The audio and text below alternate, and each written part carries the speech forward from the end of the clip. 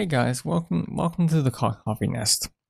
Um, my name's Tyler. I run a YouTube YouTube channel now, um, but I primarily also run a Twitch channel called Cofferat, and that's Cofferat with only one e. Um, now this tutorial, now this is my first tutorial or one of the first, and I will be um running you through the process of adding in a capture card correctly and having it set up correctly to get the highest quality image you can. Um, so this means we won't be capturing it through um, through a window. This means we will actually be adding it directly. We'll be adding the capture card directly into our software.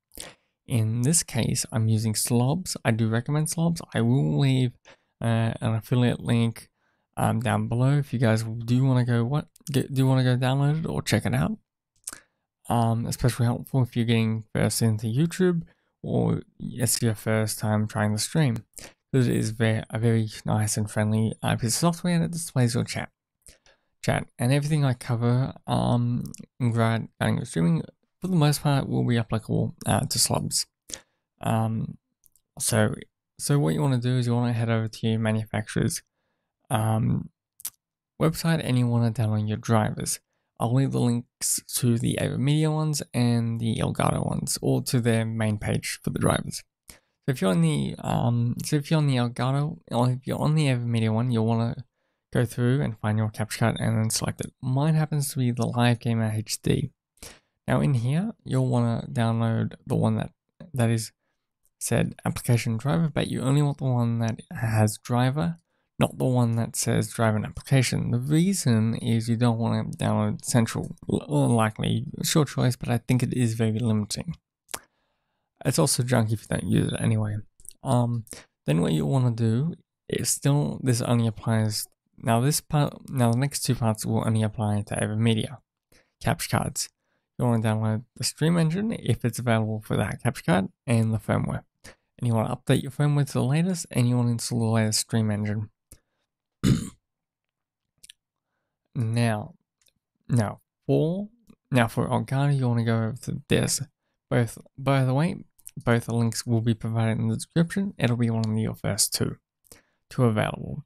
Now you want to go to latest ca game capture card. I mean, you want to go to this, download the one that's applicable to you.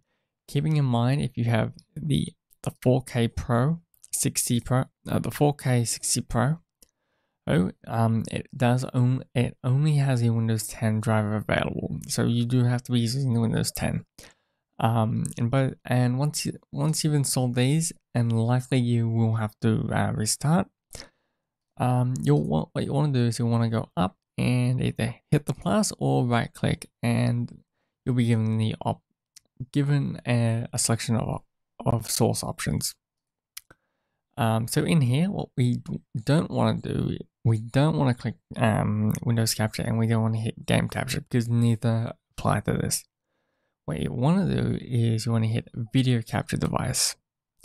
Um, it gives you a brief description of what of um, what that's for, and then you hit Add Source. As you can see, um, you can see my my PS4 there, and you want to give it a name. I call I would call this AverMedia, or I would just call it whatever the name of the capture card is add new source.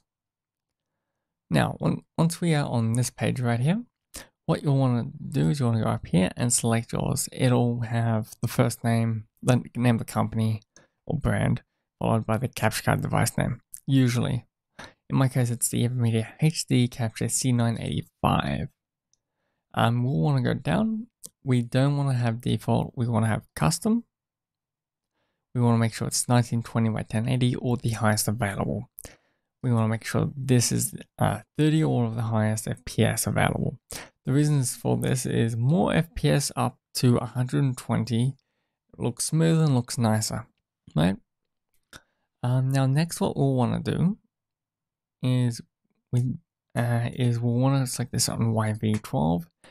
Um, it'll use that anyway, but I do prefer to make sure it's using the correct one. Um, now in this, now in what, now I do recommend 709 9 and full. That's the one I personally use and I've had the best results with. Um, 6001 looks still pretty okay. Blacks look black. Um, no changes needed, and most of the colors do seem to be there. I do recommend 709 because it is the the full color, but one thing you will notice is when you initially add it, there'll be a slight dull, um, I mean not dull, there'll be a slight offset on a uh, a lighter or whiter color colors. Uh, now down here, you will want to disable this. The reason this is, is because when you disable it, it, what occurs when it is enabled um, is it has a more of a delay, which if you're using your a USB capture device, um, it's going to have a delay anyway, and you don't want to increase that. You want to keep that as minimal as possible. Um, now down here is a capture. Capture, you get two options: capture audio, or you can have it um, have the audio pushed to your desktop audio, so you can hear your audio from your capture, capture device through your um, headphones or speakers um, on your computer. Uh, and now you also have the option to add a custom audio device. The only time you'd actually want this, um, this is when you're bringing in your audio from your um, um I'm, I'm just thinking sorry guys. So what well, so that's only when you're bringing in in the audio from a separate device for the uh, for the capture device.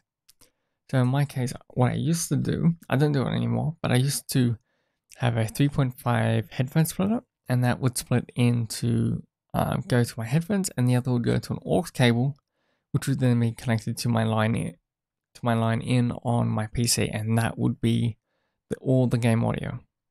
Um, and that is and that is when I'd want to be selecting use custom audio device. Uh, and now if you want to use it, you'd click it, yeah, and then you'd select your device, and you'd be done. Now, if you are using um, the full range uh, of colors, what you'll want to do is you'll want to note these down or check the description for them, and you'll want to um, and you'll want to hit these values. Now, the only thing that will actually need changing is your brightness, your contrast, and your gamma, um, and your whiteness. Otherwise, now you really don't need to, but just be aware. Um, if you don't change it, um, you may not need to change the brightness. So if it goes all bright after changing these two values, um, then you'll just need to bring this down. Now, if it doesn't do anything after bringing after changing these values, then you don't even need to attach to brightness unless you really feel the need to. Um, and then you're all done and set to go. Now you don't need the um. Now I didn't show you how to add add a filter, so I'm going to show you that now because that otherwise would be completely confusing on otherwise.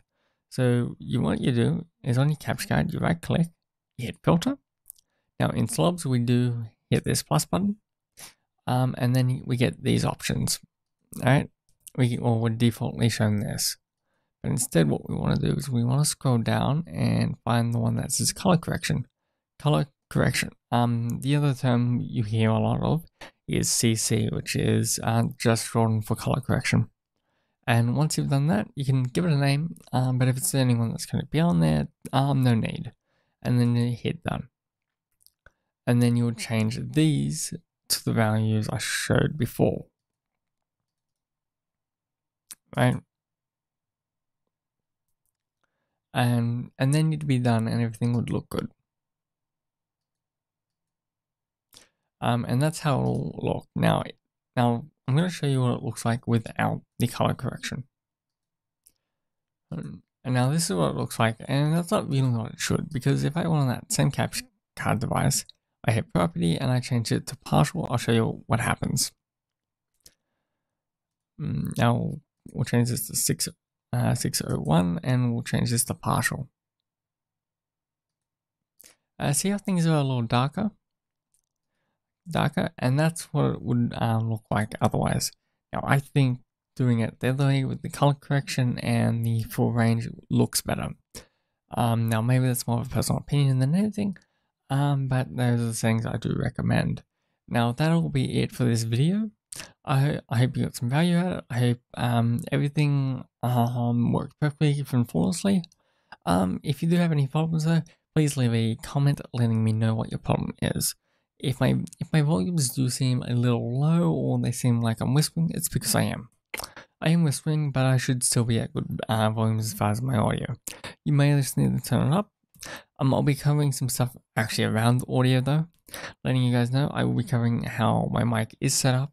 I'll be showing you how I split my audio, and I'll be doing all showing a bunch of tutorials on around around Twitch related stuff. I even have a video on its way explaining how to set up in how to how to sign up, set up, and use um, Twitch as both a viewer and a streamer. So these are just some videos that you guys should be looking forward to. I hope you have enjoyed this. If you got some value out of it, if you appreciate it, please hit, hit that hit that like button and hit the subscribe if you want to see more content. And I do very much appreciate it if you would would share share this video. Now all links to my socials and anything that I mentioned in the video um, will be in the description. So please go check that out and follow me on my socials. Um, I am Cofferat with one E over on Twitch, uh, so I will see you guys later. Goodbye, see you, and I'm out of the coffee.